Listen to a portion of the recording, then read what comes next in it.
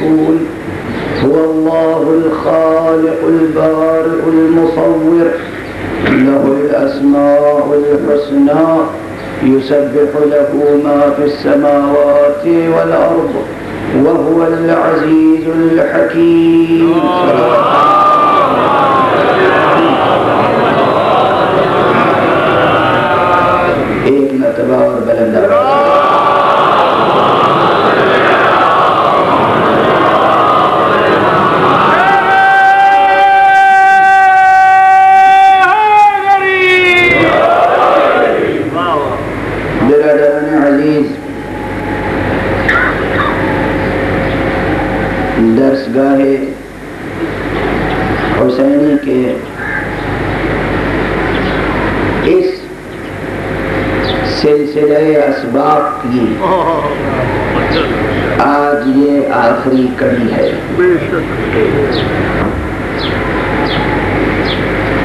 ये गुजारिश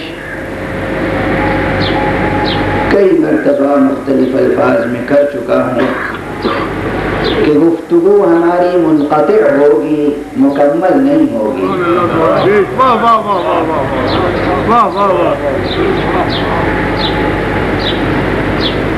असमाए और असमाए बारी तआला के सहारे से सफ़र फ़िक्र। जिस मंजिल मकसूद तक पहुँचने के लिए जारी है, उसमें कई नशे बराज और कई नुकात इनहराफ आते हैं।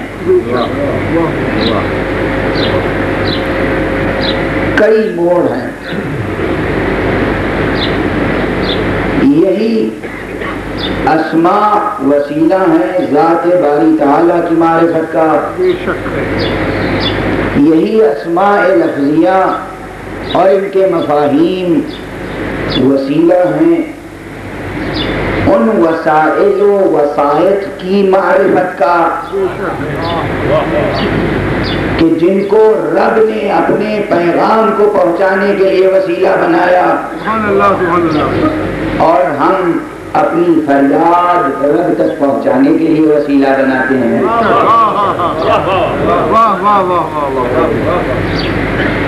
लेकिन इसी के साथ साथ एक ज़रूरी बात ये भी है कि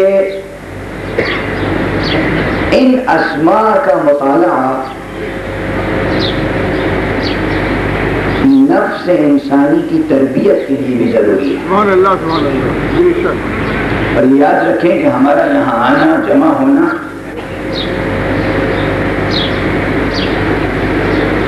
रोना आज़ादारी में हिस्सा लेना फजाइल सुनना बयान करना जितने भी अनासर तहजीब आजा है ये सब तजकिया व तहजीब नफ्स इंसानी के लिए है ताकि रजमगाह हक बातिल में हक के सिपाही तैयार होते रहे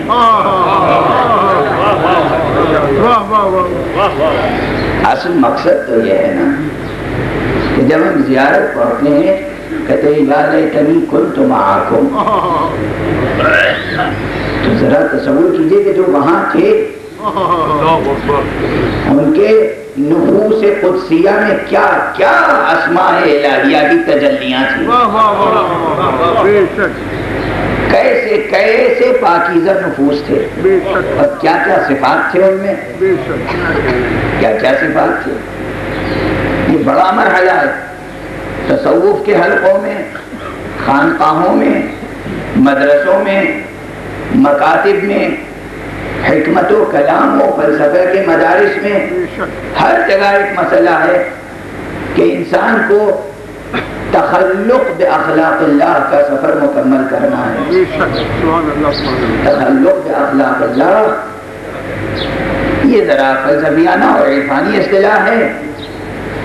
और इससे ज़रा सादा तर इस्तेलाह यह है कि इंसान को अपने नफ्स को पाकीज़ा बनाना है बुराइयों से बचाना है अच्छाइयाँ अपने नफ्स के अंदर पैदा करनी हैं बल्कि जुमला यूँ कहूँ कि नफ्स इंसानी अच्छाइयों से मामूर है सिर्फ़ उन अच्छाइयों को नशो नवा बख्शना है ज़मीन तबीयत इंसानी में हुस्न खैर की तुखमरेजी हो चुकी है। सिर्फ़ उसे अश्क अजा की आबियाई दरकार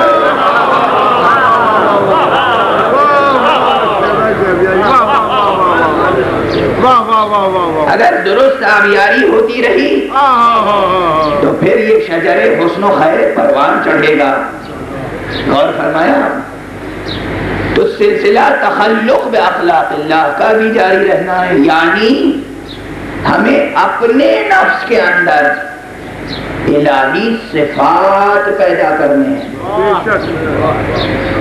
अपने नफ्स के अंदर इलाही सिफात पैदा करने और ये उस वक्त तक हो नहीं सकता जब तक कि हम एक एक इसमें गिरामी बारी ताला पर गौर न करें। और उस इसम से वजूदी सतह पर हर्ज हासिल न करें।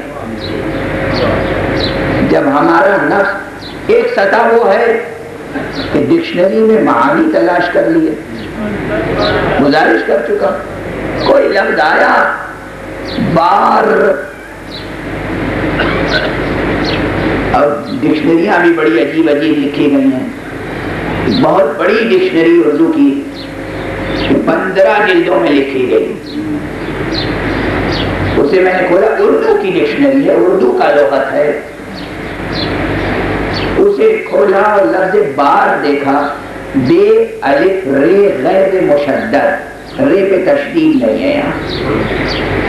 वहाँ पहले माना क्या लिखे जाने चाहिए? उर्दू की डिक्शनरी में। बोझ, वज़न। उन्होंने सबसे पहले माना लिखे, बार बैरिस्टर का मुखफ है बार इटला लिखा जाता है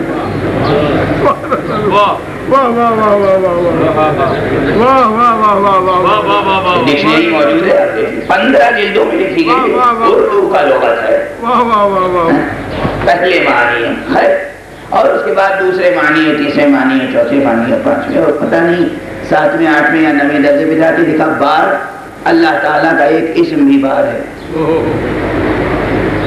ये इसम ऐसा बार था कि सबके नीचे आ गया। बहरहाल तो डिक्शनरियाँ देखने से लफ्ज का मुतबादल लफ्जी सतह पे मिल जाएगा।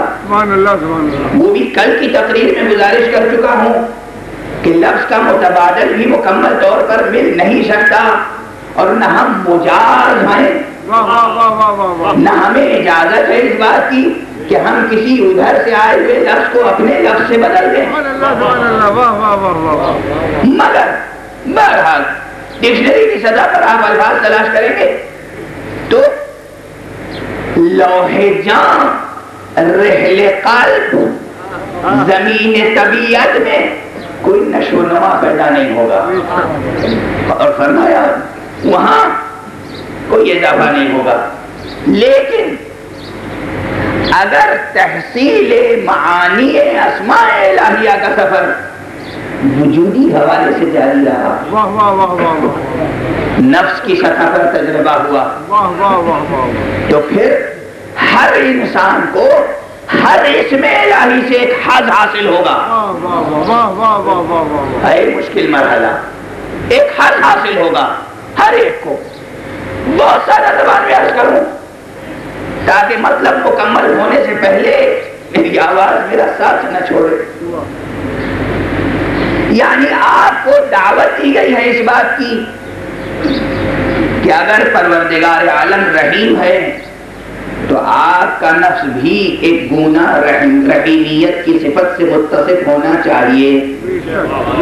अगर आपका मबूद करीब है तो आप में भी शान करम होनी चाहिए। अगर आपका मबूद रब है तो आप में भी परवरिश करने का हुनर होना चाहिए। अगर आपका माबूद बेनियाज है तो आप में भी एक गुना शान बेनियाजी होना चाहिए। और मैं हर इसमें बारी ताला से एक हज आपके नफ्स को हासिल करना चाहिए और इसका इसकी दावत दी गई। ये कहकर तुम अखलाक इलाहिया से अपने नफ्स को आरास्ता करो। वाह मुतखल्लिक अखलाक माबूद बनो। और फिर उसको उसके असबाब फराहम किए गए। अजीजान मोहतरम ये जो हमारा तहजीबी निज़ाम है और जो हमारा इबादती निज़ाम है। नमाज़, रोज़ा, हज, जक़ात, खुमुस, जिहाद आज़ादारी ये सब नफ्स इंसानी को तखल्लुक बे अखलाक़िल्लाह के लिए आमादा करते हैं। ये एहतमाम उधर से है। जरा सा जरा सा मुश्किल मरहला महसूस होगा। लेकिन जिस मंजिल तक जाना है, इंशाअल्लाह, वो मंजिल मेरे सामने है। परवरदिगार आलम कैसा करीम है? अजीजों, कैसा है माबूद हमारा? अब बहुत सी तमीजें हंस करके सादा सा एक जुमला कहो।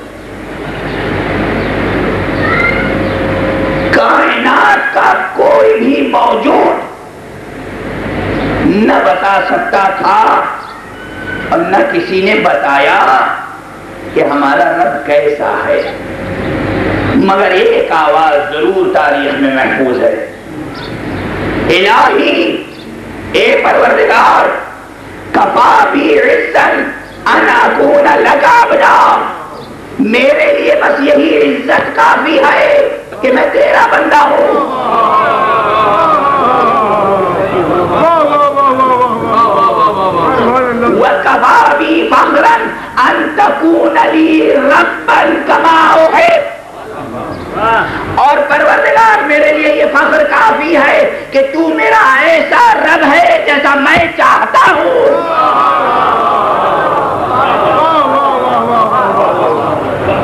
ये किसकी आवाज़ है, आप पहचान उसी की आवाज़ है जिसने कहा था कि लंबा रब पर लमारा हमने ऐसे रब की इबादत ही नहीं की जिसको देखा ना हो। ये फर्जंद अबू तालिब की आवाज़ है। ये इब्ने अबी तालिब की आवाज़, इलाही कबाबी इज्जन लकून लक अब्दा, व कबाबी फखरन अन तकून ली रब्बन कमा उहिब, फजअलनी कमा तुहिब। मेरे लिए ये फख्र काफ़ी है कि तू मेरा ऐसा रब है अल्लाह जैसा मैं चाहता हूँ।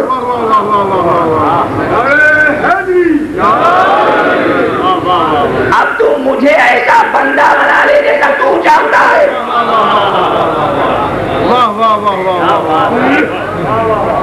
तो हमारा रब ऐसा है कि जैसा होना चाहिए। यानी नफ्स इंसानी, तबीयत इंसानी की जितनी जरूरतें हैं। अब ये बिल्कुल तबीयत की सतह पे आकर इलाज कर रहा हूँ। इसका इलाहियात से कोई रत नहीं। जितनी हमारी जरूरतें हैं, उसके लिहाज से हमारा रब नक्श नहीं रखता। कोई कमी नहीं रखता। हमारा ऐसा रब है। लेकिन अभी बात पूरी बातें नहीं हुई कि शान रब क्या है। देखिए दो किस्म के सिफात है। ये बहस बार बार आई। सिफात सबूतिया और सिफात सबिया वो सिफात जो अल्लाह में पाए जाते हैं वो सिफात जो अल्लाह ताला में नहीं पाए जाते। जो अल्लाह ताला में सिफात नहीं पाए जाते वो कौन से हैं? वो वो सिफात हैं जो मखलूक़ात से मखसूस हैं जो मखलूक़ात से मखसूस हैं यानी हमें जिस्म दरकार वो जिस्म से भी हम मकान के मोहताज वो मकान से भी हम जमाने से के असीर वो जमाने का खालिक जमानो मकान से बुलंद वाला हम हलूलो, तरकीबो, हौलो तगैरो हरकत से के शिकार। वो इन तमाम चीज़ों से बेनियाज, बालाकार। अब एक सथा से बात यह है, आप नमाज़ में दो मकामात पर दो फिक्रे कहते हैं। जरा तवज्जो दे दें मंजिल आगे बढ़ रही है। नमाज़ में एक है मंजिल रुकू की। वहाँ कहते हैं सुबहान अज़ीम और एक मंजिल है सुजूद की। वहाँ कहते हैं सुबहान रब्बी अला बहुत से लोग पूछते हैं कि नमाज़ में जहन इधर उधर भटक जाता है। कोई ऐसा तरीका बता दे कि जहन इधर उधर ना भटके। इमाम ने बता दिया है कि जब नमाज़ पढ़ो तो जो ज़िक्र जबान पर है उस ज़िक्र के बारे में सोचते रहो कि क्या कह रहे हो जब उसी ज़िक्र के बारे में सोचते रहोगे तो जहन कहीं नहीं भटकेगा तो अब जब रुको फरमाए और जबान पर हो सुबहान रब्बी अज़ीम व बिहमदे तो ये सोचे कि ये कौन सी मंजिल है सामने? रब की ये जो सना हो रही है ये जो कसीदा खानी है ये जो कसीदा हमद की बैत है भाई पूरी नमाज़ एक कसीदा हमद है। हमद बारी ताला में कसीदा है नमाज़। उसकी एक बैत है सुबहान रब्बी अज़ीम व बिहमदे है ना इसके क्या माना है और दूसरी सुबहान बिहमदे तवज्जो बरकरार रहे दो तस्वुर सामने आया एक आजमत का एक उलू का एक आजमत का एक उलू का हम अपनी रोज़मर्रा की ज़िंदगी में मुआशरती ज़िंदगी में उर्फी ज़िंदगी में अजीम किसे समझते हैं और बुलंद किसे समझते हैं बहुत सी मिसालें दी जा सकती हैं। मगर तेज़ी से एक बात करके आगे बढ़ो। जवानों, नौजवानों के लिए भी गालिबन तोहफा होगा। बुज़ुर्ग तो इन मतालिब से बेनियाज हैं। वो अपने तजर्बात की रोशनी में उन मराहल तक पहुँच चुके होंगे। अगर आपके सामने कोई ऐसी शख्सियत हो, फितरत है ये इंसान की। आखिर वजूद मुमकिन है। आखिर नाकिस है। कहीं ना कहीं तो कमी है।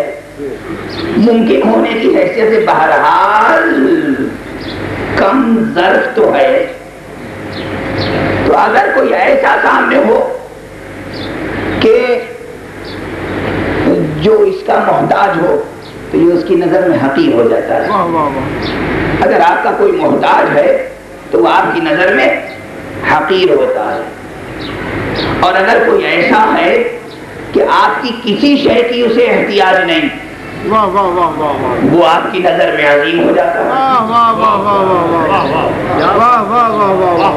अगर कुछ ऐसा हो जिसे आपसे कोई शय दरकार न हो आपसे कोई तलब न हो जो कुछ आप अपना समझते हैं वो आपसे उसमें से कुछ भी तलब न करता हो बेनियाज हो वो अजीम होगा आपकी नज़र में। लेकिन ये अजीम होने की एक सदा है।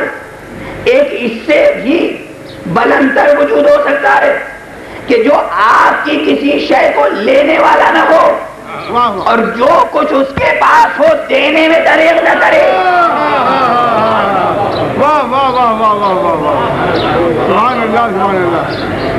वो और भी बलंतर होगा। और हमारा जिसम आपकी चीज़ खुदा को नहीं चाहिए। मकान आपकी चीज़ खुदा को नहीं दरकार। जमान आपकी चीज़, डिजले दहर आपकी मिल्कियत। खुदा उससे बेनियाज खालिक कौसर उससे बेनियाज और हमारा ये है आजमत का पहलू। और उसके अलावा वजूद, किसकी सिफत है? वजूद वजूद किसकी सिफत हयात किसकी सिफत इल्म किसकी सिफत कुदरत किसकी सिफत जो चीज़ें आपकी हैं वो उसे दरकार नहीं और जो चीज़ें उसकी हैं वो बे बे दरेग दिए चला जाता है। दामने तलब फैलता चला जाए तो उसकी अता में कोई कमी नहीं आएगी। इसमें कोई शको शुबा नहीं है। किसी कहीं और से वजूद आया, वजूद उसकी सिफतें जाती यहाँ पर वजूद को सिफत कहना एक नौ का तसामो है। लेकिन कह के आगे बढ़ रहा हयात उसकी सिफत। हम में से किसी की दाती चीज़ है हयात। सिफात सबूतिया में से वो है हाई। वो है आलिम वो है अलीम वो है करीम। और इंसान में ये सिफतें पाई जाती हैं। इसके माना यह है कि जो आपकी सिफतें हैं वो उससे बेनियाज। अगर इस मकान का दर्द कर लिया तो फिर कहिए सुबहान अजीम और अगर उस मकाम का भी शोर पैदा हो गया कि जो कुछ उसका है दिए चला जा रहा है और उस मकाम पर पहुँच के कहिए सुबहान व बिहम्दे कितना बुलंद है वो परवरदिगार अगर इस नहज पर नमाज़ अदा होने लगे तो यही नमाज़ मोमिन की महराज हो जाए कैसा हक हासिल होगा नफ्स को कैसा अरूज हासिल होगा नफ्स को कहा गया है नमाज़ मोमिन की महराज है और ये हदीस सब दोहराते हैं और सब जब नमाज़ पढ़ते हैं इधर मुसल्ले का कदम रखा इधर अपने को साहिब मेराज समझ लिया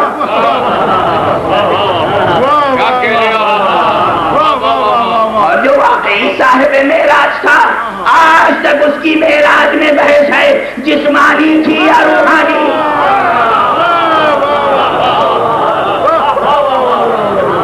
आज तक बहस है ना। जिस्मानी मेराज थी या रूहानी। मैं पहले एक ज़रूरी मुकदमा इल्मी गुजारिश कर चुका हूँ कि पैगंबर शायर नहीं फरमाते पैगंबर क्या सिर्फ़ जज्बातियत या तखयुल नहीं होता। तो अगर पैगंबर ने फरमाया असला तो महराजुल मोमिन या असला तो महराजुल तकी तो इस फ़िक्र मुबारक में लफ्ज महराज हकीकत में इस्तेमाल हुआ है, मजाज में नहीं।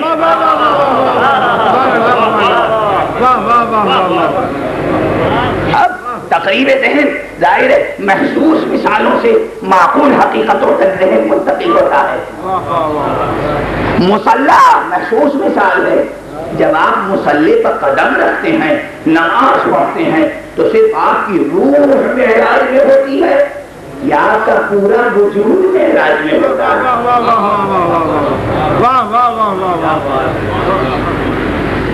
पूरा वजूद उस वक्त बदन भी मशगूल इलाही है। रूह भी मसरूफ ताकत इलाही। बेशक। पूरा वजूद आपका। साहिब मेराज है। अब ये जब बात आ ही गई है तो एक बात अर्ज़ करता चलूँ। बहस बहुत तूलानी है। बड़ी जहीन किताबें लिखी गई कि आ हज़रत की महराज जिस्मानी थी या रूहानी। आ, हज़रत की महराज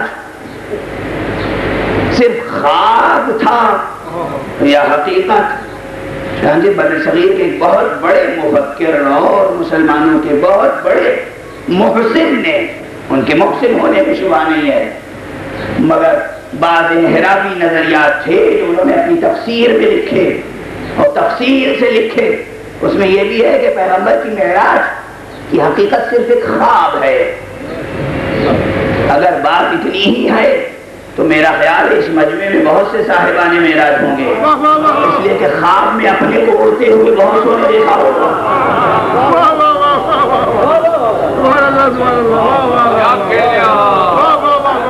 मैं इस किस्म के जुमले भी मेंबर से कहने का आदि नहीं हूँ, मगर कभी कभी मजबूरन कहना होगा। कैसे कैसे ख्वाब दिखाई देते हैं उड़ते चले जा रहे हैं पाँव के तले से ज़मीन खिसकती चली जा रही है अरे बहुत सोंगे तो जागते में खिसक जाती है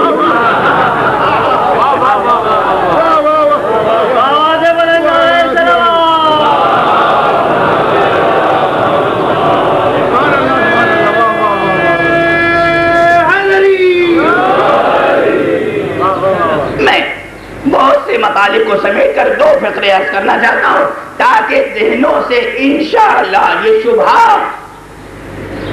निकल जाए। हुजूर इतनी सामने की बात समझ में नहीं आती। आप फरमाते हैं, पैगंबर की महराज रूहानी थी, जिस्मानी नहीं। इसके माना यह है कि जिस्म से रूह ने मुफारकत की थी।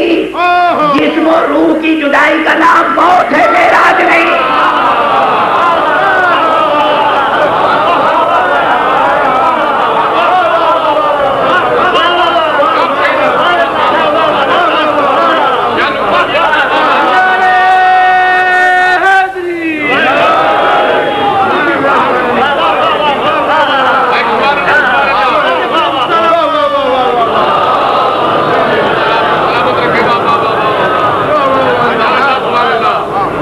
सोचते रहिए जिस्म और रूह की जुदाई का मंजर रोज देखा करते हैं। चाहे मोमिन की रूह उसके जिस्म से जुदा हो, या काफिर की मौत उसके जिस्म से जुदा हो, रूह और जिस्म की जुदाई का नाम मौत है।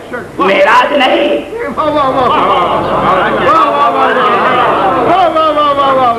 क्या कज फिक्री है? एतराफ करने वाले तो एतराफ कर लेते हैं गालिब की ये इत्तेफाक से कल हो गई नज़र। मगर यहाँ एक गालिब बेचारा नहीं है। वो दिल्ली हो या अकबराबादी इससे मुझे कोई गरज नहीं। इसमें मेरा कोई खास कोई खास दिलचस्पी मुझे इस मसले से नहीं है। अकबराबादी होंगे। एक दिन मैंने कह दिया था कि गालिब दहलवी एतराज़ हुआ कि वो अकबराबादी है। अकबराबादी अकबराबादी होंगे। हम तो सबके साथ आदमाबादी हैं।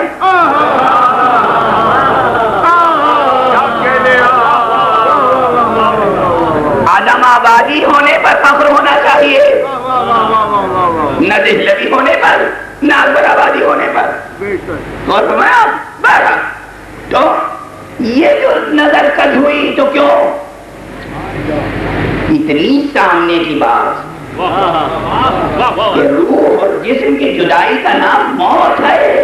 मेरा मेराज नहीं वो जो पैगंबर की ज़िंदगी जिनकी निगाहों में खटकती थी वो हमेशा मौत ही देखा करते थे।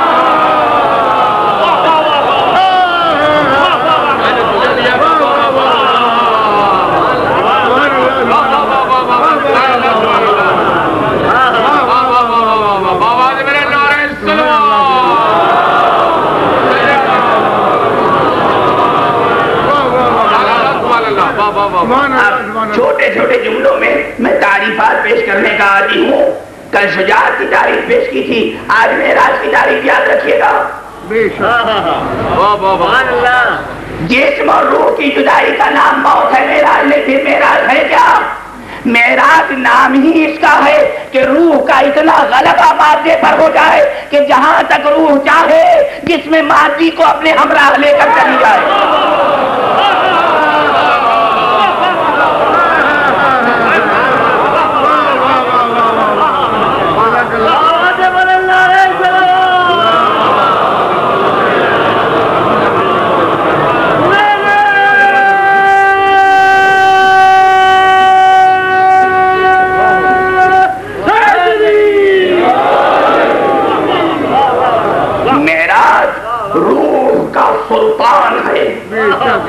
मेराज रूह की वो ताकत कुव्वत है।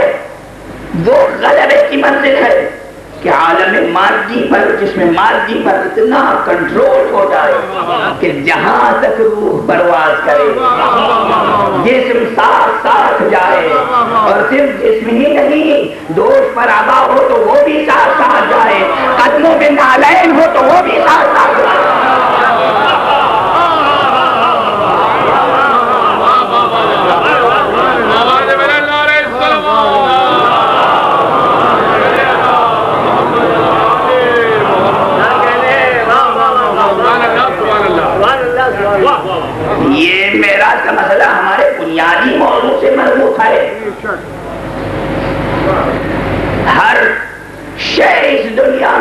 ज़ाहिर रखती है बातिन हर उनसुर एक जाहिरी हैसियत रखता है। एक बातनी एक अपनी जगह हकीकी हैसियत रखता है एक मजाजी। मिसाल बार बार सिर्फ़ याद दहानी के लिए इशारा करता हूँ कि पानी उनसुर बसीत है या था एक उनसुर है एक मादी शय है। अपनी हकीकत में हकीकत भी है। मजाल भी। इसलिए तो उसकी एक इस्तेआराती हैसियत है। किताब वजूद में। किताब वजूद में पानी इस्तेआरा है, इल्म का और हयात का। गुजारिश कर दूँगा, हर उनसुर एक हकीकी हैसियत रखता है, एक इस्तेआराती इसी तरह हर वाकया। एक ज़ाहिर रखता है, एक बातें कभी कभी आलम कौन फसाद में, आलम मादी में, इस जमान मकान के हिसार में कुछ वाकयात जहूर पजीर होते हैं, जो बाद मावराए तबीयत हकीकतों के मजहर होते हैं। इस लिहाज से गौर करें वाकई मेराज पर वाकई मेराज जो कुछ बयान किया जाता है जो रिवायतों में है ज़ाहिर अपनी जगह महफूज। ज़ाहिर में तसरुफ नहीं कर रहा हूँ लेकिन बातें और हकीकत मेराज क्या है? जो जाहिरी रिवायतें हैं देखिए बयान इस तरह किया गया बयान अलग है बयान हकीकत अलग है हकीकत अलग मुसाफ मुकाबले का रिश्ता है बयान हकीकत एक चीज़ हकीकत एक चीज़ हकीकत एक हो सकती है बयानात मुख्तलिफ़ हो सकते हैं पहले भी गुजारिश कर चुका हूँ उसलूब बयान तर्ज बयान डिक्शन अल्फाज बदल सकते हैं मगर हकीकत एक हो सकती है तो हकीकत एक है मगर हर दौर में सामीन की सथा को देखते हुए मासूमी ने बयान किया और फिर जो अपने अपने वक्त में नायबीन इमाम गुजरे मुश्तहीन को कहा उन्होंने भी सामने के की सथे पहन को सामने रखकर गुफ्तगु की इसलिए मेराज के पास ऐसी बातें हैं बयानात मेराज में मेराज में नहीं जहाँ जिहानतें ठिठकती हैं अब मैं कुछ सवाल पेश कर रहा हूँ सिर्फ़ सवाल आप और फरमाइएगा कि इनका हल क्या है मेराज के बारे में सबसे पहली बात तो ये कही जाती है अब थोड़ी देर तक सिर्फ़ सवाल गुजारिश करूँगा हो सकता है तबीयतों का बार हो जाए कहा जाता है मेराज एक ऐसा सफ़र था जिसमें ये आप अपने महबूद से मिला। परवरदिगार ने शरफ उर्ब अता फरमाया। यही कहा जाता है ना? कुरान मजीद में परवरदिगार आलम ने ऐलान फरमाया है कि हम अपने हर हर बंदे से शहरगे हयात से ज़्यादा करीब है? तो हजूर ये फरमाइए, हमा और शुमा से तो वो शहरगे हयात से ज़्यादा करीब। एक अपने हबीब महबूब मुस्तफ़ा बंदे से इतना दूर था कि खसूसियत से शराब गुर्बत बचने के लिए एक सहमत सफ़र दी गई।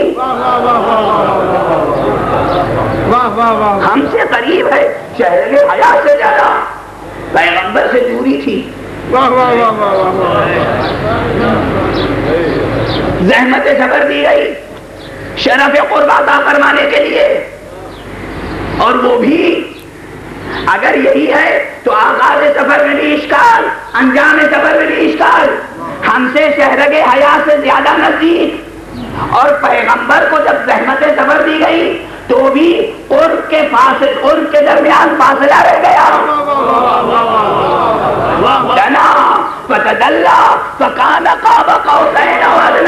दो कमानों का फासला फिर भी रह गया।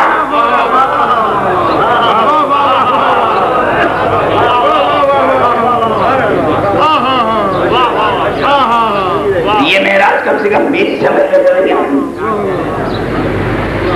दूसरी बात मेराज का जो वाकया है, उसमें स्पेस टाइम रेफरेंसेस हैं। पूरा ग्राफ मौजूद है लाइन मौजूद है। कहाँ से कहाँ तक सफ़र हुआ? कहाँ तक लीनियर मोशन हुआ? कहाँ तक वर्टिकल हुआ? कहाँ ओरिजेंटल था, कहाँ वर्टिकल कहाँ उफुकी था, कहाँ ओमोदी सब रिवायतों में है। मक्के से बैतुल मुकद्दस तक बैतुल मुकद्दस से आसमानों तक। ये जो ग्राफ है ये डायमेंशन को डिटरमिन कर देता है। तो इसका मतलब वो परवरदिगार जो बेनियाज जमान मकान है वो किसी खास नुकता मकान में था।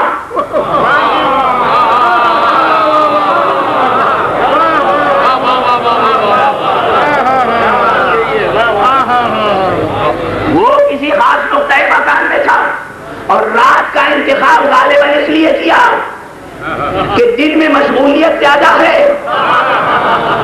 रांची में फुर्सत मुलाकात।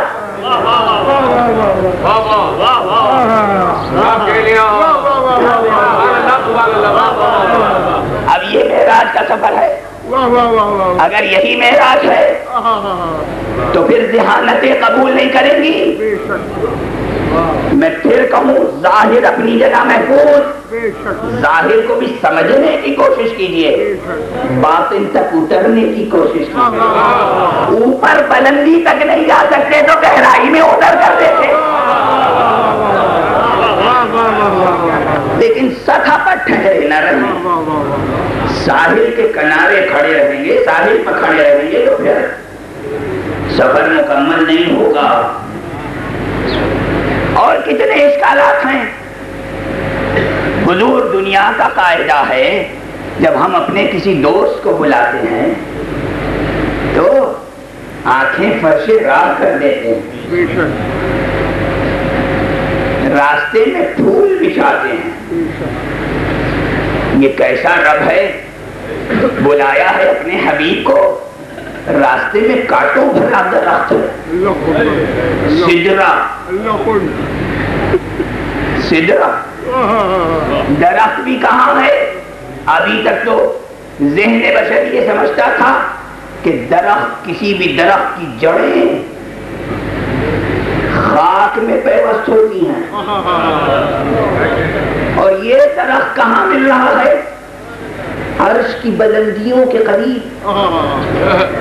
साये अर्श में कहीं एक दरख्त। ये दरख्त कैसा है? और ये कौसैन क्या है? फासला है तो कैसा? मोरफा या मुतसवफा ने मुतखजाना लबो लहजे में इजहार किया तो दो अफवाहों का तस्करा कर दिया। वाह वाह वाह वाह वाह वाह वाह वाह ये भी हुआ। वाह वाह वाह वाह। और लोगों ने जो कुछ बहस की वहाँ कौसैन की न जाने क्या क्या बहसें हुई। मगर ये सब मराहल मेरे लिए हैरत का सामान। सबब सफ़र आगाज़ सफ़र अंजाम सफ़र राह सफ़र वाह वाह वाह। वसीले सफ़र। हर शय हकीकत रखती है। मगर हकीकत रस निगाह चाहती है। अगर ये सवाल आप पेश नज़र आए तो कबल इसके कोई गुजारिश करूँगा कबल इसके कि मेरी आवाज़ साथ छोड़े मतालिब को हर्ष करते हुए नजायज गुजारिश कर दूँ। कौसैन के माना भी समझने की कोशिश करें बात वहीं से शुरू होगी। कि बात की तखल्लुक में अखलाक की। वाह वाह वाह वाह मैंने बार बार कहा मुस्तफ़ा इसमें आज़म इलाही है। इसके माना क्या है? ये मेराज। उसकी तफसीर है। कैसे? कैसे? कैसे इसमें आज़म इलाही है? देखिए अता का सिलसिला उधर से शुरू हुआ। कुछ न था और फिर कुछ खल्क हुआ। चार चीज़ें बगैर तलब अता कर दी। सबसे पहली चीज़ जो मिली वो वजूद। हम में से किसी का वजूद हमारा अपना नहीं है। वजूद। इसीलिए अमीर मोमिनीन अली इब्न अबी तालिब अलैहिस्सलाम ने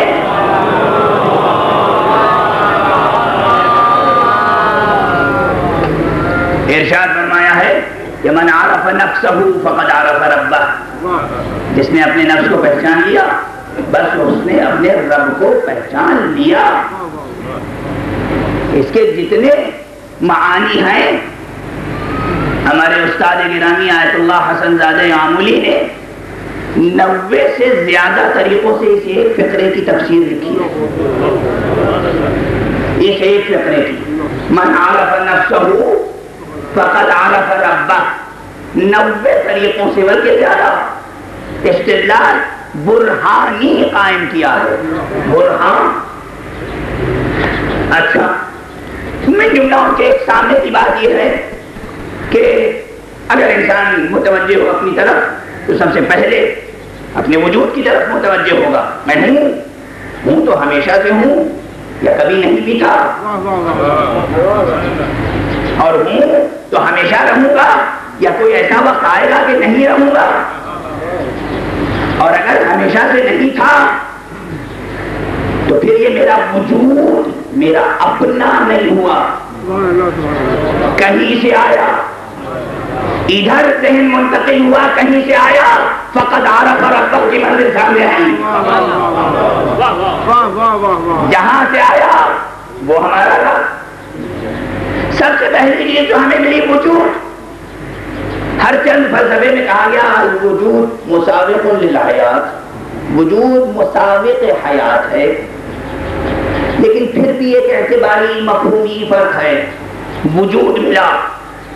कभी कोई सतह वजूद हयात का पर्दा बनती है, और कभी कोई सतह वजूद हयात का मजहर बनती है। इसलिए वजूद पर हमेशा से इतलाक हयात नहीं होता। एक एतबारी मफहूमी तगायुर है फ़र्क है। वजूद मिला, हयात मिली।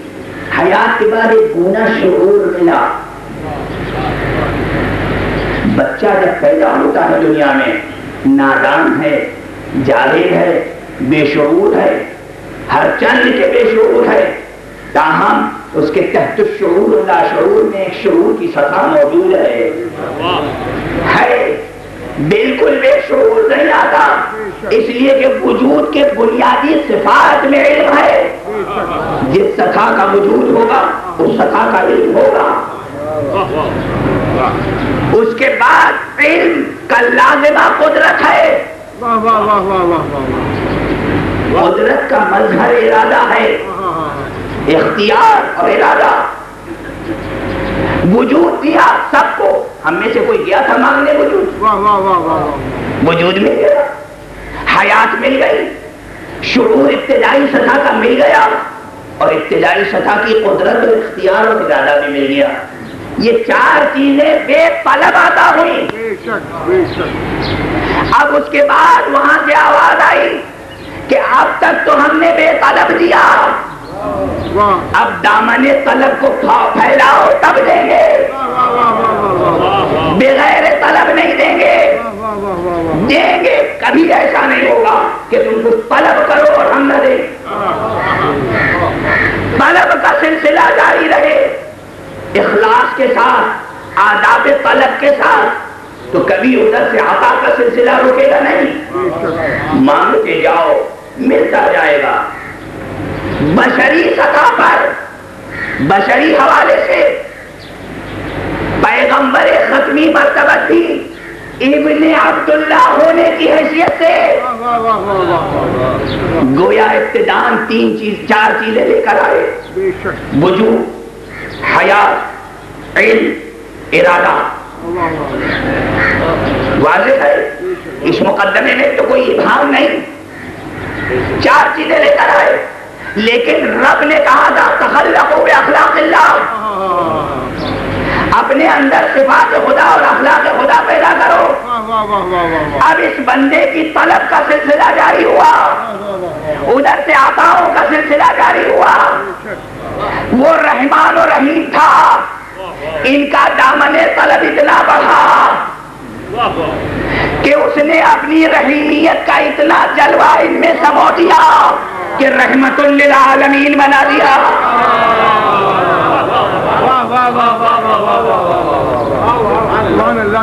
और जितने से बात थे एक के बाद एक ये बंदा तलब करता रहा असमाए इलाहिया की तजल्ली होती रही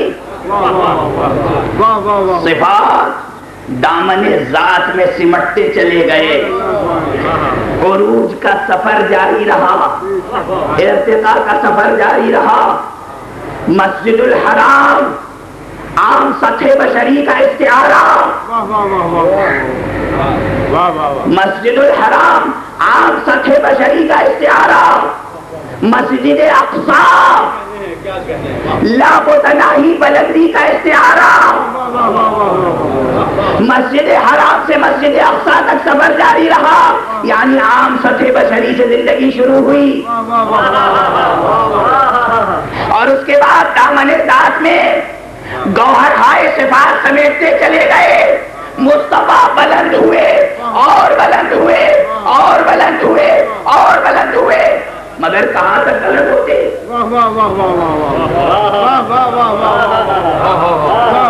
एक मंजिल है फलसफे में एक चीज़ है इनकलाब बातिल है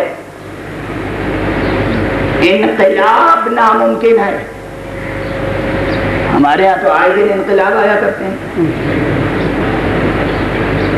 हर मुल्क में इनकलाब आता रहता है अभी भारत में इनकलाब आ गया कोई हुकूमत थी अब कोई और आने वाली है? हम जब भी कोई जुमला कहते हैं तो अपने यहाँ की तर्जुमानी करते हैं। कहीं और की बात नहीं करते। एक इनकलाब का सियासी मफहूम है और एक इनकलाब का फलसफियाना मफहूम।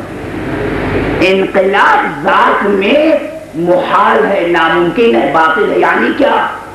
अब यहाँ भी एक महसूस मिसाल दे दूँ। बात वाजे हो जाएगी। महसूस मिसाल यह है कि बाप अपने बेटे की निस्बत से बाप ही रहेगा हमेशा। वाह वाह वाह वाह वाह वाह। बाप अपने बेटे की निस्बत से बाप ही रहेगा। बेटा नहीं हो सकता कभी। हो ही नहीं सकता। इल्लत मालूम का वजूदी रिश्ता जो है वजूदी सतह पे जात में इंकलाब नहीं आ सकता ये बाप अपने बेटे की नस्बत से बाप ही रहेगा अपने बाप की नस्बत से बेटा कहलाएगा मगर ये नामुमकिन है कि अपने बेटे की नस्बत से बेटा कहलाए जो सामने की बात इसी तरह बेटा अपने बाप की नस्बत से बेटा ही रहेगा ये नामुमकिन है कि बेटा अपने बाप की निस्बत से बाप बन जाए। अगर किसी खानदान में कहीं ऐसी मिसालें मिल जाए तो वो गैर फितरी मिसालें होंगी। गैर नजीब मिसालें होंगी। और जहाँ वजूदी सखा पर ऐसी खामी नज़र आए वहाँ तो तजल्ली गारे से बात का तस्वुर भी नहीं किया जा सकता। कहाँ की विलायत और कहाँ की खिलाफत? सलवार पढ़े मोहम्मद वाले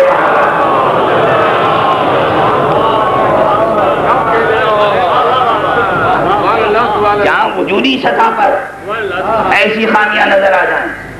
वरना मसला बिल्कुल साफ़ है कि बाप अपने बेटे की नस्बत से बाप रहेगा।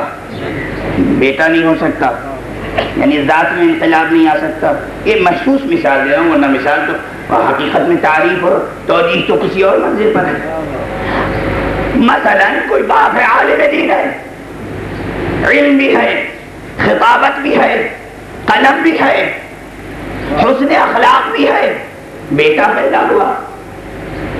सूरत बिल्कुल बाप की सी तालीम पाने के बाद बाप भी मुश्तक था, बेटे ने भी सनत में की पाली। बाप भी साहिब कलम था, बेटा भी साहिब कलम हुआ। बाप भी खतीब था, बेटा भी खतीब हुआ। बाप भी शायर था, बेटा भी शायर हुआ। बाप भी साहिब तर्ज नसर निगार था, बेटा भी साहिब उसलूब हुआ। सारी दुनिया कहती है, बेटा हूँ, वो बाप की तरह है। मगर बाप बाप है, बेटा बेटा।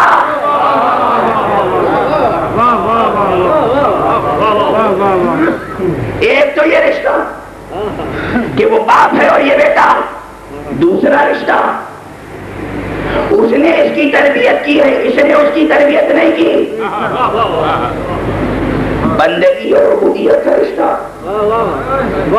और हमारा आपने अब जहन को पहुंचाइए, परवरदिगार वो फैयाद अलल इतलाक है, जो अपने सिफात बख्शने में बुखल से काम नहीं लेता।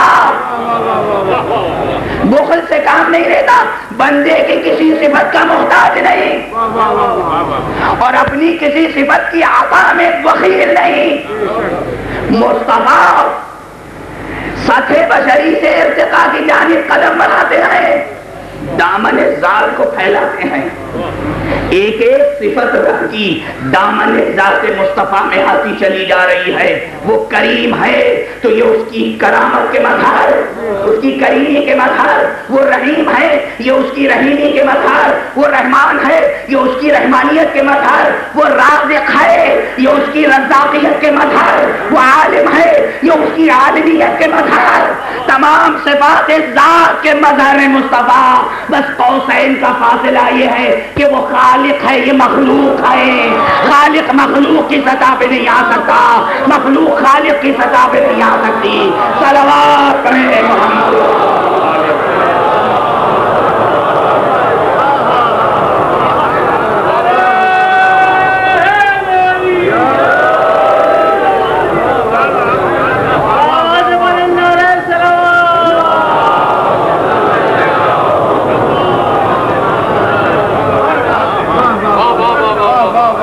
वो खालिक है ये मखलूक वो रब और महबूद है ये आप इसीलिए जब गुफ्तगु शुरू हुई तो कहा सुबहान अल्लाह असरा बे दे ही। एक आब्द की बात अब्दियत का एक कौस खालिकियत का एक कौस। ये है दो कौस। कमालों का फासला रह गया। मुस्तफ़ा इसमें आज़म खुदा खुदा की हर सिफत जाति का मजहर। बस ये है फ़र्क कि वो अब्द है, ये अब्द है, वो महबूब ये मखलूक है, वो ये मौज है। ये कौसैन का फ़र्क मिट नहीं सकता। ये नहीं मिट सकता। बाकी सारे फासले तय हो गए। कोई फासला न है न कोफर ये शिरक नहीं है। मुस्तफ़ा को इस मंदिर पर जानना खुदा फैयाद का एतराफ है। कैसा फैयाद है वो जिसने ऐसा बंदा बनाया? कैसा बंदा है ये? जिसने आलम बशरियत का ऐसे खुदा से मुतार कर। ऐसे खुदा से मुताल कर। इलाहिया का मुताला हो तो इस मंजिल तक पहुँचे। यहाँ तक हर शख्स अपनी जात में तजलियात तो सिफात आसमा आसमा सिफात इलाहिया की तजलियाँ जज्ब करने की कोशिश करें। मगर ये याद रहे उस मंजिल तक कोई नहीं पहुँच सकता जो मंजिल मुस्तफ़ा को मिल गई। उस मंजिल तक कोई नहीं पहुँच सकता सिवाय उनके। बात ने मेराज की तरफ़ इशारा क्यों किया मैंने? जाहिरी सफ़र एक इस्तेहारा था। बात ने मेराज ये है बातिन मेराज ये है कि मुस्तफ़ा जिस जात सिफात की मंजिल पर हैं, जिस जामियत सिफात की मंजिल पर हैं, अब उस मंजिल पे जाने के बाद अगर मुस्तफ़ा किसी को अपना नफ्स कह दे।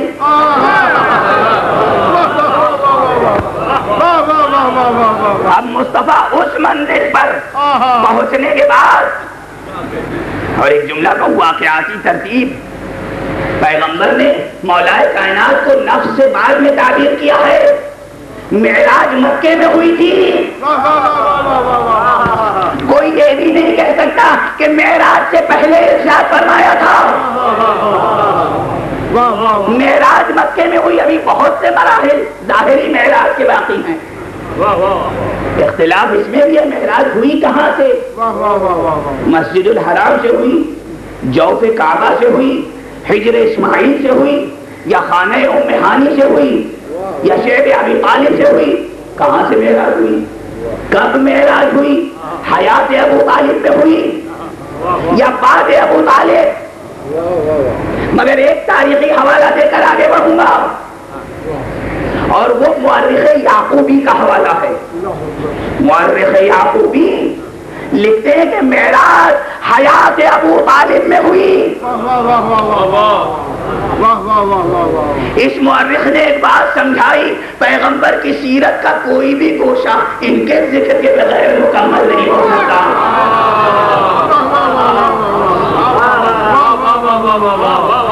बात जबान पर आ गई है तो जो एक जुमला कहता हुआ आगे बढ़ू। मुर्रख याकूबी ने तो कुछ नकल किया है, और वो मुनफरिद नहीं है। फिर दूसरे मसाजिर की मैंने जस्तजू की। एक मुकालमा सिर्फ़ नकल करूँगा और उसके बाद गुफ्तु आगे बढ़ जाएगी। कि जनाब अबू तालिब,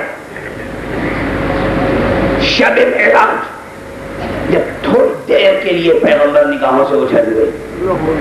ये भी मसला है कि मेराज कितनी मरतबा हुई। ये भी मसला है कि मेराज कितनी मरतबा हुई? एक जुमला यहाँ पर मैं अपने पेश रो किसी खतीब का नकल करना चाहता हूँ। ये मेरा अपना जुमला नहीं है। हर चंद के पहले मैंने जुमला कहा, फिर किसी और ने कहा कि ये जुमला आपसे पहले कोई और कह चुका है। इसलिए मैं एहतियात करता हूँ कि हवाला दूसरे ही का दे दूँ। और वो जुमला ये है कि जब बहस ये हो रही थी कि हैरत है इनकी मेराज पर। कैसे गए? तो कहने वाले ने कहा हमें इस बात पर हैरत नहीं कि वहाँ कैसे गए हमें हैरत इस बात पर है कि यहाँ तिरसठ बरस कैसे रहे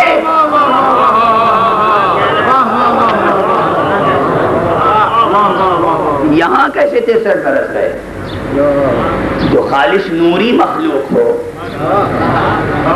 हाँ दर्श हासिल कीजिए इनकी सीरतों से क्या दर्श हमारे दरमियान कोई जब साहिब जर हो जाता है या साहिब इल्म हो जाता है तो फिर उसमें नजाकतें पैदा हो जाती हैं। जहाँ कोई जरा साहेब जर, साहेब इल्म, साहेब हुनर हुआ तो चाल ढाल से रफ्तार गुफ्तार से होने लगता और जब किसी से मिलते हैं तो इस अंदाज से मिलते हैं कि दुनिया गवाही दे, बड़े मुनकसर मिजाज हैं। इस अंदाज से मिलना के मुनकसर मिजाज हैं। यानी गोया, ये गरीब बेचारा जो मिलने आया था, इस लायक तो न था कि मैं मिलता। इस लायक तो न था कि मैं इसको वक्त देता। इससे बात करता, मगर ये मेरा कमाल अखलाक है। ये इनकसारी है, ये तवाजो है, फरोतनी है, और एक फिक्रा और इस्तेमाल होता है, खाकसारी है। बड़े खाकसार हैं। जो खुद खाक का पुतला हो, वो खाक सारी क्या करेगा? ये फिक्रा सिर्फ़ एक जगह पामानी होता है, जो नूर के पुतले थे। उन्होंने खाक सालाना जहूर इख्तियार किया।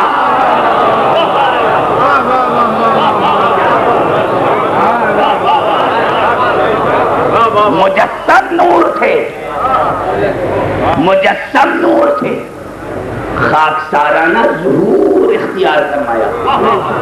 कबूल फरमा लिया इस उनसुरी बदन को, बदन उनसुरी को। यहाँ तशरीफ़ लाइए उनकी खाकसारी, बस एक ही जगह ये लफ्ज मानी है। हजरात मोहम्मद वाले मोहम्मद के बाद। पढ़ना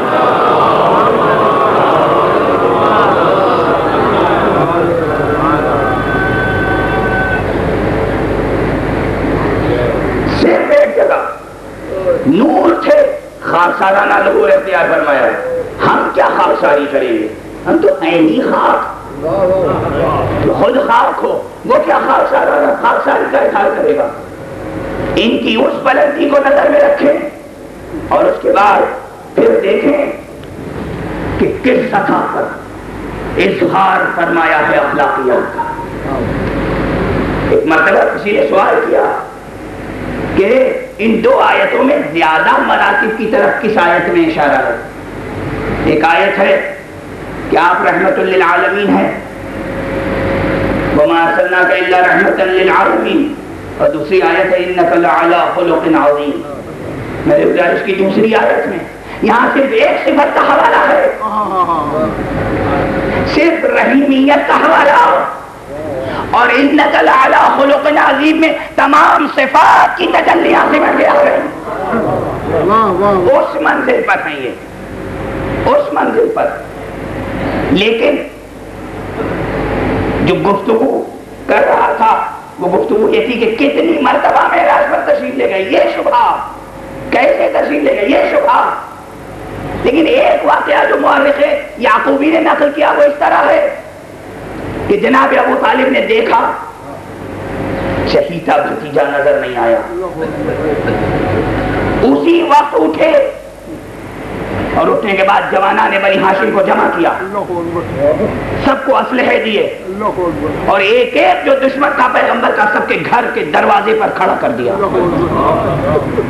का अगर मेरा भतीजा सुबह तक न मिला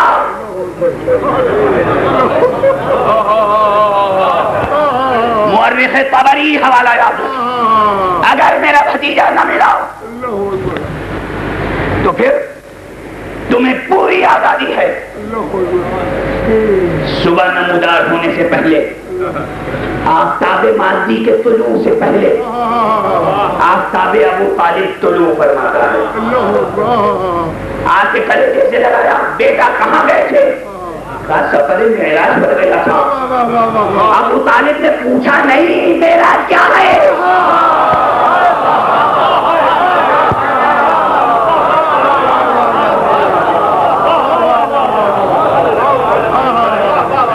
और बस एक जुमला कहा, बेटा, ठीक है, सुबह हो तो इन काफिरों से बयान न करना, वरना तुम्हें झुटलाएँगे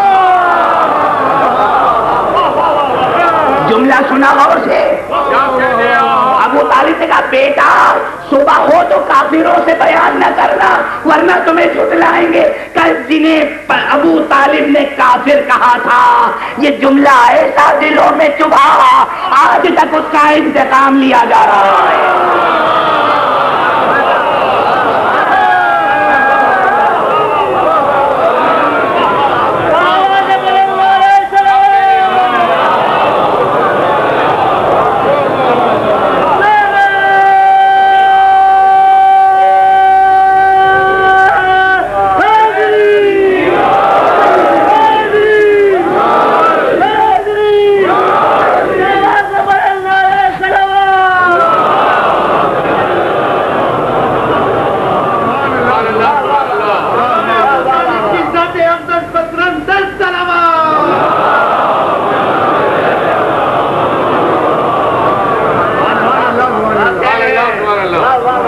ये है अबू तालिब कल कहा क्या कहा बेटा इन काफिरों से बयान न करना वरना तुम्हें झुटलाएँगे सिर्फ़ जिसमें पैगंबर की हिफाजत नहीं की है। खातिर अज़ीज़ की भी हिफाजत की है। खातिर लतीफ पैगंबर खातिर अज़ीज़ मुस्तफ़ा पर कोई ऐसी बात ना आ जाए जो सूर्य अदब कहलाए। इसलिए उन्हें रोका। बेटा, तुमने कहना, वरना तुम्हें झूठ लाएँगे और जब सुबह हुई तो सबको जमा किया। अल्लाह रे शजाते अबू तालिब। सबको जमा किया। मुर्रख तबरी, दुश्मनों को जमा किया। क्या तुम्हें मालूम है आज रात का मंजर क्या था? तुम में से हर एक के दरवाजे पर हमारा एक जवान मुसल्ला खड़ा था। ये बयान। का क्यों? कहा, मेरा भतीजा मेरी निगाहों से ओझल हो गया। सफ़र मेराज पर गया था। पैगंबर से कहा तुम मना ना करना कि ये झूठा कहे तो तुम्हें ना कहे। वहाँ भी खुद को सिपर बना दिया।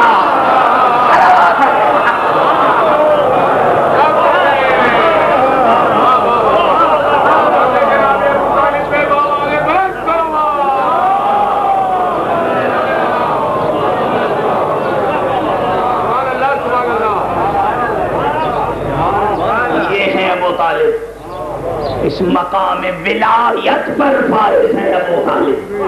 अबू तालिब वलीयुल्लाह है।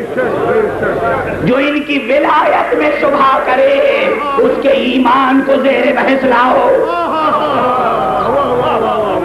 फिर जुमला अपना दोहरा रहा हूँ इस मेंबर से। मेरा मौला अली, तनहा वली नहीं है। अली वली इब्न वली का नाम है। ये वलीउल्लाह है। वलीउल्लाह का बेटा है। वलीउल्लाह का पोता है। मोहम्मद।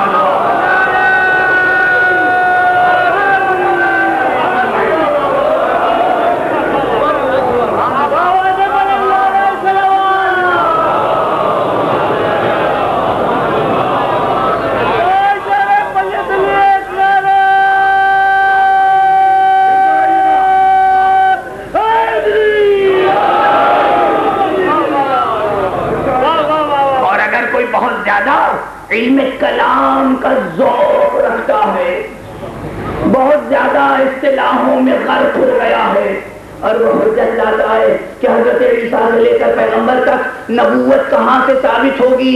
इसलिए कि फतरत का जमाना है तो फतरत नबूवत के लिए साबित है, विलायत के लिए नहीं। विलायतों का सिलसिला जारी रहा। और पैगंबर का सफ़र अबू तालिब जैसे वली की मौजूदगी में सफ़र मेहराज हुआ। ये सफ़र मेहराज उस मंदिर पर मक्के में, हयात अबू तालिब में, सफ़र महराज पर जाने वाला पैगंबर, ज़िंदगी भर अगर अली को कहे मेरा नफ्स है, यानी ये भी जामे से बात हो रहा है। हसन को कहे ये मुझसे है यानी ये भी जामे सिफात खुदा। अगर हुसैन के लिए कहे ये मुझसे है यानी ये भी जामे सिफात खुदा। ये असमाए उजमा है। ये आलम वजूद में इसमें आदम इलाही है ये इसमें जाम सिफात खुदा है ये शेख नहीं है, ये उसरात फ़िक्र है कि जिससे अगर कोई गुजर गया तो फिर दौ से अकीदा हासिल हो गया। बहिश्त दीन हासिल हो गए और अगर नहीं तो फिर बस मुश्किल है। हाँ यानी अब जुमला कह रहा हूँ इस पस मंजर में फिक्रों पर गरा न गुजरे मुस्तफ़ा की मेराज में तुम्हें शुभा है हम तनहा मुस्तफ़ा को साहेब मेराज नहीं समझते अली भी साहेब मेराज है हसन भी साहेब मेराज है हुसैन भी साहेब मेराज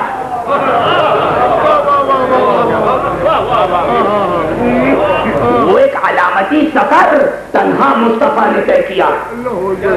एक अलामती सफ़र। मरना उस मंजिल मेराज पर सब फायस हैं। वो मंजिल मेराज जहाँ जबान और मकान के आवाज़ लायानी हो जाते हैं वहीं तो ये मुमकिन है, कि जाने वाला तनहा जाए और जिसे छोड़कर चला जाए। वो कहे कि आप बयान करेंगे सफ़र का माजरा हमें रिलेटिविटी को यहाँ पर आकर दरियाफ्त करो। दुनिया फासला देख रही है। यहाँ मुर्तजा मुस्तफ़ा में जैसे कोई फासला ही नहीं है। ये है इजाफियत। ये है इजाफियत। कितना फासला तय किया? तनहा तय किया? और दुनिया कहती है कि बस शब हिजरत अपने बिस्तर पे लेटाया था। मुझे तो ऐसा लगता है कि शब मेराज भी अली को अपने बिस्तर पे लेटा के गए। ऐसा लगता ये जुमले ज़ाहिर है, अपने सियाको सबाक में समझे जाए सियाको सबाक से जुदा करके नहीं। इनमें से हर एक साहेब महराज बस महराज के मजाहिर बदल गए। कहीं सजरतुल मुंतहा की मंजिल पर मेरा। कहीं नो के मैदान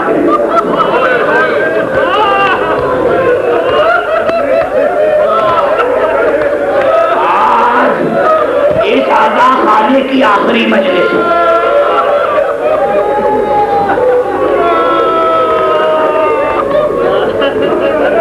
खाने किया कल बयान मसाइल बहुत कृष्णा रह गया था। एक इश्तबाह के नतीजे में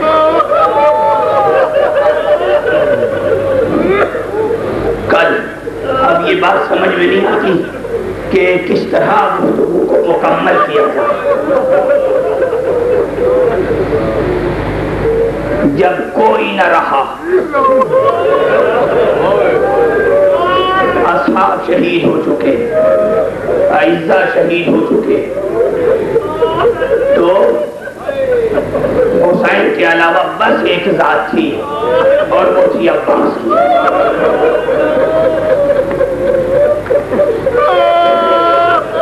और वो अब्बास की जात थी। कल मैंने मतला पढ़ा था। वसफ अब्बास और मुशाहब अलमदद अलमदद जनाब आज दो मिसरे और जहन में आ रहे हैं।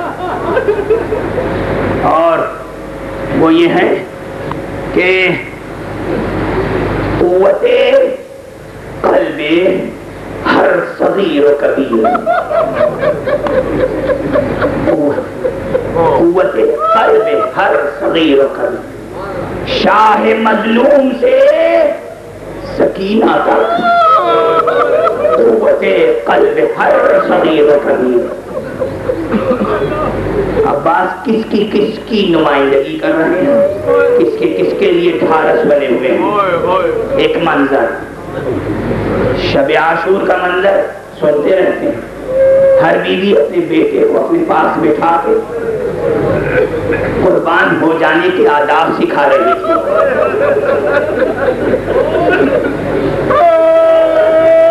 और एक खैमा ऐसा था उसमें एक बीबी तन्हा बैठी थी।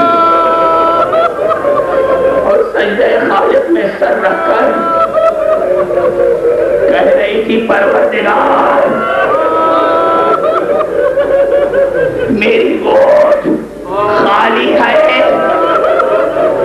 मैं अपनी तरफ़ से तेरे वली इमाम वक्त पर क्या कुर्बान करूँ? बात उस खैमे की जाने से गुजर रहे थे।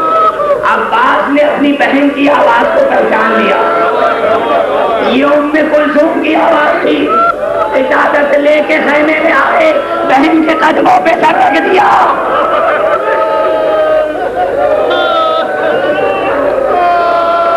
इसकी किसकी तर्जमानी की है अब्बास? किसकी किसकी तर्जमानी की किसकी किसकी नुमाइंदगी की अभी के जज्बात की तर्जमानी। फातिमा के जज्बात की तर्जमानी, उम्मुल बनीन के जज्बात की तर्जमानी, और उसके साथ साथ अपनी बहन उम्मे कुलसूम के जज्बात की तर्जमानी, और उसके बाद सबकी ठारस बने रहे। और जब गए तो हुसैन ने कहा कि तुम्हारे वजूद से ऐसा लगता है जैसे पूरा लश्कर अभी सलामत है।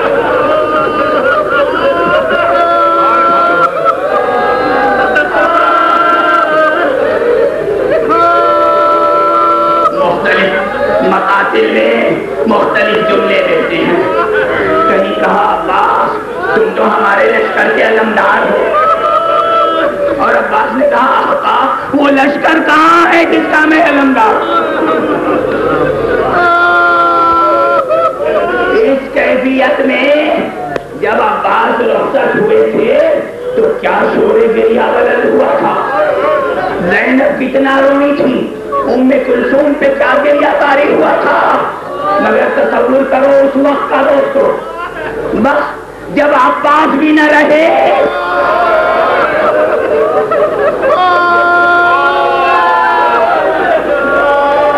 जुमले कहूँ, न अकबर रहे, ना पास रहे, न क्षमा अब जब हुसैन रुखसत आखिर के लिए आए होंगे तो बीबियों पे क्या कयामत गुजरी और रुखसत भी किस अंदाज से हुए हैं। अल्लाह अकबर। बाज अरबाब मकातिल ने एक रिवायत लिखी है कि बहन के पास आए और कहा, बहन, कोई कोहना पी रहा हो तो दे दो। एक पुराना कुर्ता लिया, उसे जगह जगह से चाक किया चाक करके देवे तक फरमाया उसके बाद फिर कबा पहनी।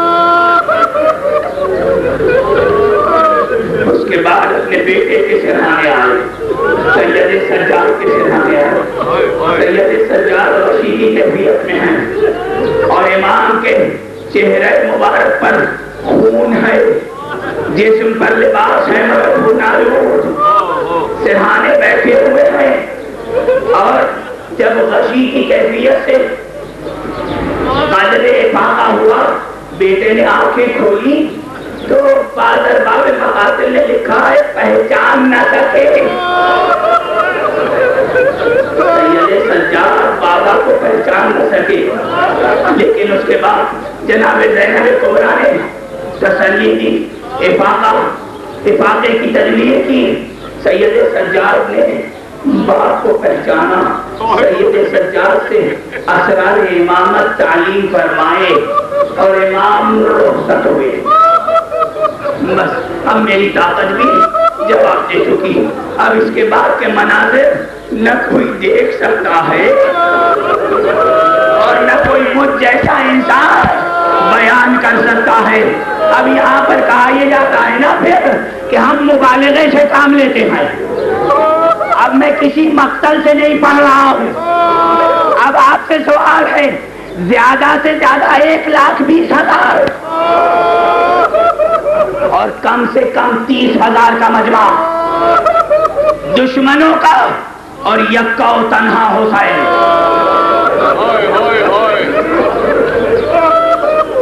तारीख की हकीकतें जमा कर रहा हूँ, मकतल नहीं पढ़ रहा हूँ। कम से कम तीस हज़ार का मजमा। यकौतना हुसैन, एक बुलंदी पर जिसके हाथ में जो असलहा है, वो उस असलहे से हुसैन पे वार कर रहा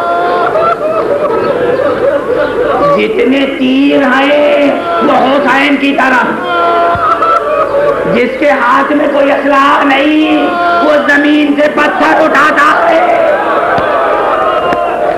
और हुसैन मजलूम की तरफ़